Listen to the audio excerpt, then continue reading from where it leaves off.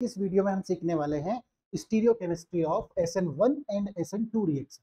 देखिए, एक होती है हमारी न्यूक्लियोफिलिक सब्सटीट्यूशन रिएक्शन यूनिमोलिकुलर और एक होती है बाइमोलिकुलर। तो इनकी अगर स्टीरियोकेमिस्ट्री की बात की जाए तो एस एन वन रिएक्शन जो प्रोसीड होती है, वो होती है रेसमाइजेशन के थ्रू। अब ये थोड़ा सा यहाँ पर आप लोग कंफ्यूज रहते हैं कि रेसमाइजेशन वर्ड आया क्यों? ठीक है? क्लियर या तो आप चाहते हैं कि रिटेंशन रहे या तो इन्वर्जन रहे। ऐसा नहीं होता, अभी समझाएँगे क्यों? और इसकी स्टीरियो केमिस्ट्री होती है किसके? इन्वर्जन के थ्रू ठीक है? अब यहाँ क्यों लगता है हमें ऐसा, वो अभी बता रहे हैं। उसका रीजन क्या है, वो भी बता रहे हैं। ध्यान से सुनते चलिएगा। देखिए, सबसे पहले बात करते हैं एस एन वन रिएक्शन की। तो एस एन वन रिएक्शन जैसा कि हमें मालूम है, क्या है? सबसे फास्ट किसमें होती है? आपकी टर्सरी एल्काइल हेलाइड में होती है। तो टर्सरी एल्काइल हेलाइड में जब ये सबसे फास्ट होती है तो इसका पहला स्टेप होता है आपका स्लो स्टेप वन जो है, वो स्लो है। इसको हम क्या बोलते हैं? आर बोलते हैं। क्लियर क्या बोलते हैं हम? आर डी एस अब आर डी एस मतलब रेट डिटर्मिनिंग स्टेप है। सबसे पहले ये वाला बॉन्ड ब्रेक हो करके आपका बनता है एक कार्बोकेटाइन क्या बनता है? एक कार्बोकेटाइन जब ये कार्बोकेटाइन फॉर्म हो जाता है और B R as a leaving group अलग हो जाता है तो उस कंडीशन के बाद सुनिएगा क्या होता है। ठीक है? उस कंडीशन के बाद आपको जो है स्टेप सेकंड में कार्बोकेटाइन पर न्यूक्लियोफाइल अटैक करता ये हमने बना दिया अपना कार्बोकेटाइन क्लियर और इस पर अब कौन अटैक करेगा? आपका न्यूक्लियोफाइल अटैक करेगा। अब इस न्यूक्लियोफाइल के पास दो पॉसिबिलिटी है। एक तो डायरेक्ट आ जाए, एक इधर से आ जाए। तो ये देगा आपको दो प्रोडक्ट जब ये डायरेक्ट लगेगा सीधे सामने से ही तो प्रोडक्ट आपका कुछ इस तरह का होगा। ठीक है? और जब ये बैक साइड से अटैक करेगा तो आपका प्रोडक्ट जो होगा, वो कुछ इस तरह का होगा।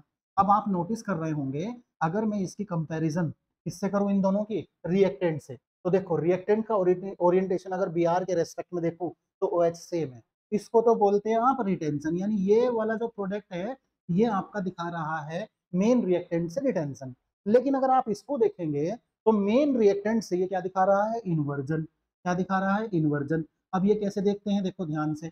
जिधर साइड में, मान लो ऐसे खड़ा हूँ और लेफ़्ट साइड में बीआर है, अगर इधर न्यूक्लियोफाइल भी लेफ़्ट साइड में ही है तो ये है आपका रिटेंशन यानी सिर्फ़ बी आर हट गया ओ OH आ गया, लेकिन रिएक्टेंट और प्रोडक्ट के ओरिएंटेशन सेम रहे। अगर वो पहले से क्लॉकवाइज है तो क्लॉकवाइज रहे, और एंटी क्लॉकवाइज है तो एंटी क्लॉकवाइज लेकिन यहाँ पर क्या हो गया? चेंज अगर रिएक्टेंट क्लॉकवाइज था तो प्रोडक्ट क्या हो गया? एंटी क्लॉकवाइज क्लियर तो इसमें क्या हुआ? देखो ध्यान से, दोनों हुए। रिटेंशन भी हुआ इन्वर्जन भी हुआ। कितने परसेंट हुए दोनों? फिफ्टी फिफ्टी परसेंट हुए। तो ये जो हुआ, ये दोनों मिला करके बोला गया क्या? रेसमाइजेशन समझ में आ गई बात?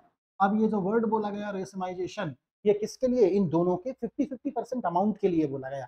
कभी भी आप इसमें केवल रिटेंशन या इन्वर्जन नहीं लगाएँगे। ध्यान रख लेना, दोनों होते हैं तो हमेशा ही क्या लगाएँगे? रेसमाइजेशन अब बात करते हैं एस एन टू रिएक्शन की। एस एन टू रिएक्शन में क्या है? जो हमारा एल्काइल हेलाइड है, वो कैसा होना चाहिए? प्राइमरी होना चाहिए तो बहुत फास्ट रिएक्शन होती है।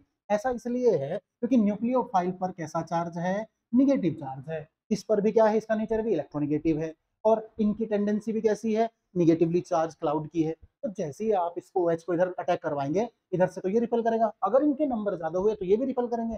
तो इसलिए इसमें क्या है, आपका रिएक्शन रेट क्या हो जाएगा स्लो हो जाएगा टर्सरी तो आप इसको किधर से कराते हैं अटैक बैक साइड से।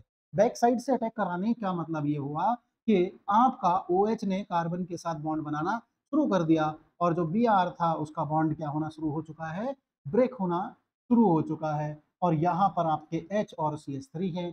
ये एक स्टेट बनी है जिसको बोलते हैं आप ट्रांजिशन स्टेट ट्रांजिशन स्टेट है अनस्टेबल है हाईली अनस्टेबल है, तुरंत किसमें बदल जाएगी? प्रोडक्ट में बदल जाएगी। अब प्रोडक्ट जब आपको मिलेगा तो प्रोडक्ट का ओरिएंटेशन जब आप चेक करेंगे तो प्रोडक्ट के ओरिएंटेशन में आप पाएँगे कि जो आपका क्या था रिएक्टेंट था, उसके जस्ट क्या है? अपोजिट है। मतलब अगर ये क्लॉकवाइज रहा है तो ये कैसा हो गया? एंटी क्लॉकवाइज अगर प्रोडक्ट एंटी क्लॉकवाइज है तो ये कैसा हो जाएगा? क्लॉकवाइज इसको बोलते हैं आप इन्वर्जन ऑफ़ कॉन्फ़िगरेशन क्या बोलते हैं आप इसको? इन्वर्जन ऑफ़ कॉन्फ़िगरेशन अब जब आप इन्वर्जन ऑफ़ कॉन्फ़िगरेशन को करेंगे तो इस कंडीशन में आपके पास बहुत ही आसानी से समझ में आ जाएगा कि एस एन वन रिएक्शन दोनों से प्रोसीड होती है, यानी ओवरऑल रेसमाइजेशन से, और ये सिर्फ़ इन्वर्जन ऑफ़ कॉन्फ़िगरेशन से, इसमें दोनों चांसेस नहीं है। बहुत छोटा सा मैकेनिज्म है, बड़ा ही प्यारा है। इसके थ्रू आप मैकेनिज्म भी सीख सकते हैं और साथ साथ में स्टीरियो केमिस्ट्री भी सीख पाएँगे।